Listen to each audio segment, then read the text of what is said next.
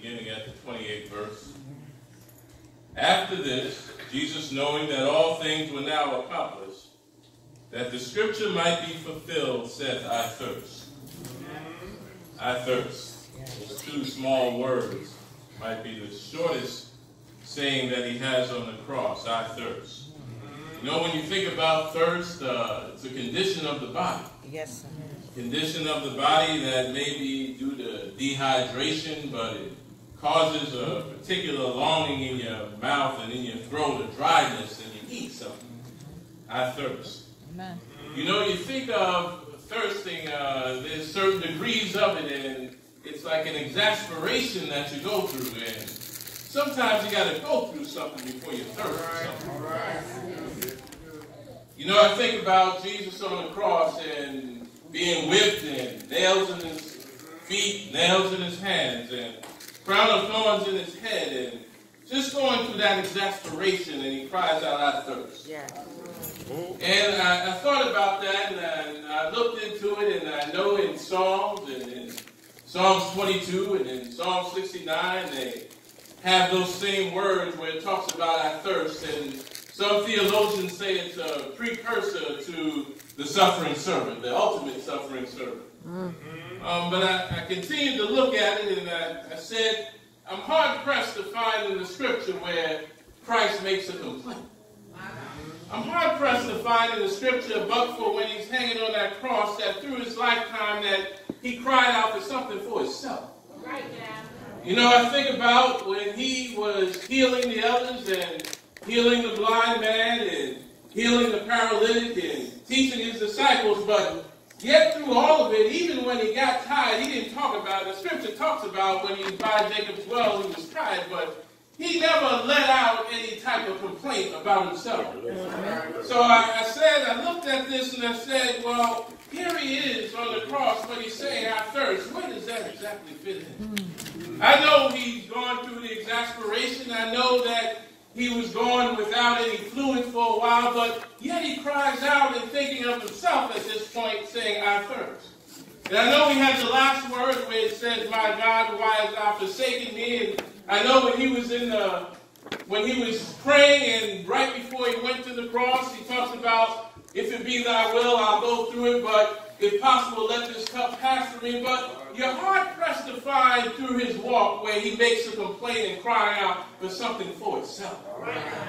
So I looked at this and it says, I thirst. So I said, maybe I got to go back a little bit at the beginning of the scripture. And at the beginning of the scripture, it says, after this. Jesus, knowing that all things were now accomplished, after this. When I read right after this, I said, is it after that he just entrusted his mother to the disciples? Is it after he did all his healings? Is it after he was teaching the disciples? And, you know, I thought about that, the exasperation and the cry about our thirst. And it says after this, and I thought about, you know, some of us, in going through life and on this walk and on this journey, sometimes we don't walk a mile before we exasperated and saying I'm thirsty. Mm-hmm. sometimes we don't just go, we don't go through a little bit and we're thirsty, we're exasperated. But here is our Savior on the cross. He cries our thirst after all of this. After this, Jesus knowing that all things were now accomplished. So I thought about it, how can we gain something from this? He didn't thirst until after this. What is your after this? Yes, yes. He didn't thirst until he went through something. He didn't thirst, he wasn't exasperated, he wasn't complaining about things until after it was all over. So I thought about that thing and I said that maybe in our walk of life, let us not be choked out by the pressures of this world.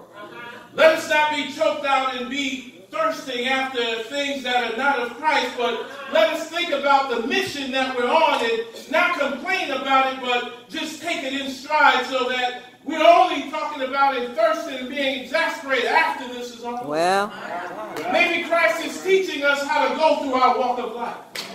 It was after he did his healings. It was after he was being crucified. It was after he was already trying to explain to the disciples they didn't understand, but he still was patient. He didn't complain about it. hallelujah. I think about us in our walk when we're explaining things to others and we're going through our walk of life. Do we complain about it or do we take it in stride? Do we think about this, these pressures of the world or do we just take it in stride? Well, well. Are we exasperated before we even get started? Mm. After this. After this, knowing that all things were now accomplished. What is your after this? Yes. Hallelujah. God, I, I, pray that God just keep me, keep me on this walking on this journey of life. Amen. Amen. That God Amen. keep me and not allow me to complain about this journey of life. Yes. That God keep me focused on the mission of life. That God keep me focused on the word. That God keep me focused in preaching his word. That God keep me focused in living this life that I live for his will and for his glory. Lord, allow me not to complain while I'm on this journey of life. Allow me not to get choked in by my own desires. Allow me not to get choked in and start thirsting for things that are not of him. Uh, allow me to walk this walk and talk this talk as God wants me to do. But let me not start thirsting until after this. Hallelujah. God, allow me not to thirst yes, until after this. Allow me not to thirst until I walk a little while.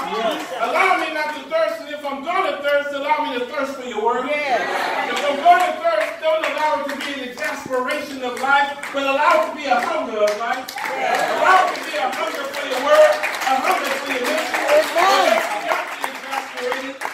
God is teaching us not to thirst right now. You have to walk away saying, don't let me thirst until after this. Don't let me thirst until after I've done the work for you. Don't allow me to be exasperated in this life. Allow me to think about the cares of this life until I'm on this mission for you and I've reached the end. Allow me to take this word with patience. Allow me to take this walk with patience. God, allow me to walk with patience. Allow me to walk with diligence. Allow me to walk with your love. Allow me to give your love to someone else and not just think about my own desires. Don't thirst until after this. Don't thirst until after this.